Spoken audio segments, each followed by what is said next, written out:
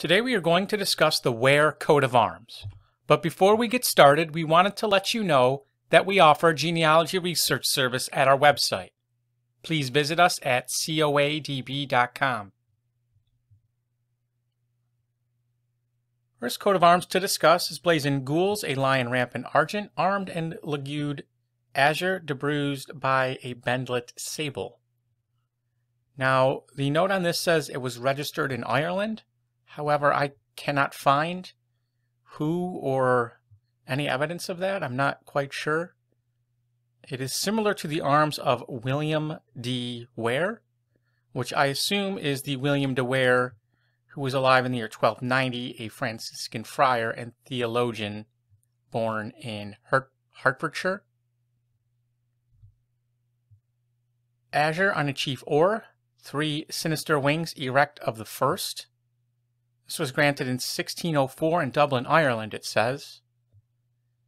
Now, there was John Ware, who was born in Yorkshire, the son of Christopher and the grandson of Robert. He moved to Ireland and died in Dublin. He was the father of Walter, William Ware, Elizabeth, Sarah, James Ware, and Peter Ware. Now, there was later in the family Nathaniel Webb Ware, Esquire of Woodfort in County Cork. Now, I don't have any evidence that that um, this belongs to them, but it, if it's from Ireland, it has to be one of one of the members of this family, most likely. And given that it was granted in 1604, I would say one of the earlier members, but um, I wasn't able to confirm that.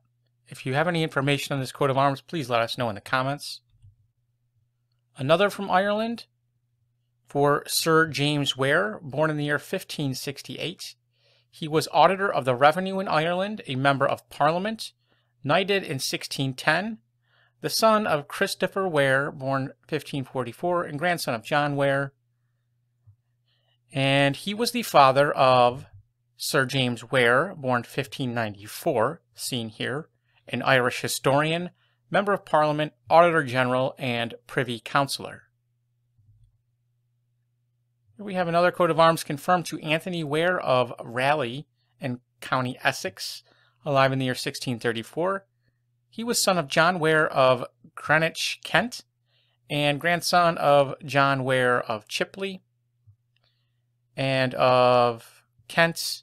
They were descendants of Robert Ware, born around the year 1300, who married an heiress in Devonshire. Here we have the arms of Ware of Poslingford in, in Suffolk and of Hendon Hall in Middlesex.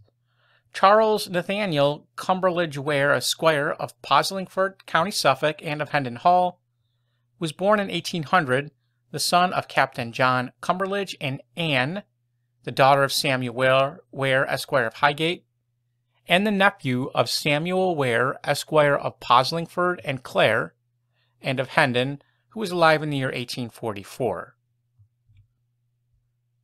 Gules, a lion passant argent, an orle of eight crosses, crosslet or, crest, a boar passant. Wasn't able to find the armiger on this one. If you know, please let us know in the comments. Gules and lion passant argent between eight crosslets or within a border of the last palette. Gules, crusilly, and a lion rampant argent. Roger de la Ware, born around the year 1250, was the first Baron of De la Ware, Lord of Isfield, Governor of Burgh Castle, and the son of John de la Ware, who died in 1277, a descendant of Sir John de la Ware, first Lord of Bristolton, who was granted the Wicken Manor by Prince John in, eight, in 1185 AD as a reward for his loyalty and bravery. Here we see it with the Gules crusilly Fitchy. And this is the arms of Warre of Hestercombe and Warre of Chipley. John Lawar inherited the estate when he married Elizabeth Marriott, the only daughter of Sir John Marriott, during the reign of Edward II in the 14th century. His descendant, Richard Ware, served as High Sheriff in 1465 and was the son of Robert Ware. Now, Ware of Chipley, there was John Ware. He inherited the manor of Chipley and Tolland from his father, Richard Ware of Hestercombe, who died in 1601, a descendant of Robert Ware, who married Thomasin Chipley. And then John had son Edward Ware, who continued the lineage. Here we see Hestercombe in the modern day. Another coat of arms for the Warre Baronetcy of Hestercombe in the county of Somerset, a title created in the Baronetage of England in 1673 for Sir Francis Ware, subsequently Member of Parliament for Bridgwater and Taunton. He was the only son of Sir John Ware of Hestercombe House in Taunton, Somerset, a knight of the Shire for Somerset. Here we see Margaret, daughter of Sir Francis Ware. Argent on a band between six martlets gules, three martlets or. This is for the, I believe it's actually for the Ward family, but it is listed as being spelled Ward or War. And one from France, Philippe Ware of Abbeville, France, an advisor to the king, lieutenant general of the constabulary of Picardy in France.